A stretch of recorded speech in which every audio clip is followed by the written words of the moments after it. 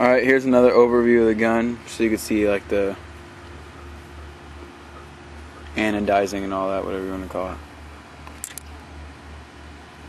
There's a upgraded feed neck.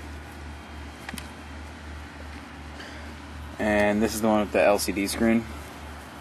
It's my dog. Uh, there's a gauge, perfect condition.